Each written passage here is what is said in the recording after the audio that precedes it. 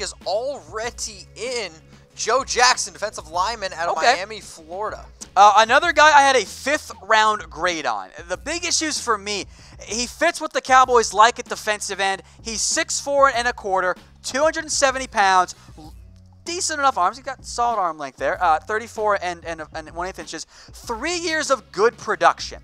35.5 tackles for loss, 22.5 sacks. Has a unique ability to score defensive touchdowns, two of them over his NFL career. I am told he responds very well to tough coaching. The, the Dallas Cowboys right now taking on the Miami Hurricanes player. 4840 is fine, especially for his size, but he's not a bender. 7.83 cone, not very good. It doesn't use his length the way he should, needs better hand usage, but I think that Rod Marinelli can coach this guy up and make him into a good player. Now, Rush is a little tall, a little stiff overall, needs to learn how to be a pure pass rusher, but he had kind of that, that good attitude. By the way, just had a son, by the way, Michael Jackson Jr.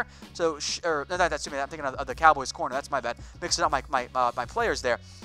I wonder if he cuts a little bit of weight, down like maybe 260. He'll have some some more more juice. I think he's a power rusher. My two comps for him, Demarcus Walker could become an Adrian Clayborn in round five. I think it's very good value. My edges, I had him as my second best one, 166 on the board. So once again, perfect value, round, round five grade. I give it another B pick here for the Dallas Cowboys. So B for Tom. We want to know from everybody who's watching A, B, C, D, or F. How would you grade the Cowboys pick of Joe Jackson? Somebody said there's a lot of Jacksons going to Dallas. Is that uh? What do you think? The last two picks for the Dallas Cowboys. Two two B selections, solid picks there. Two B. So we want to know from everybody who's watching right now. Okay, so A, B, C, D, or F.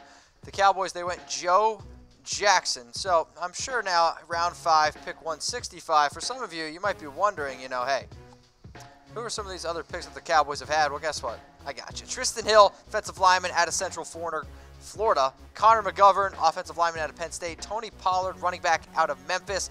Michael Jackson, cornerback out of Miami, Florida. And then Joe Jackson, defensive lineman out of Miami, Florida.